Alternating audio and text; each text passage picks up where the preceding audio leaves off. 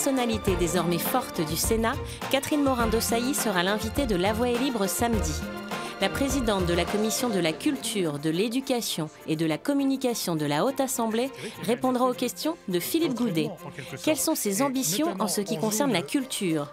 Comment voit-elle son avenir politique à moins d'un an notamment du scrutin présidentiel? Réponse dans La Voix est libre samedi à 11h30 sur France 3 Normandie.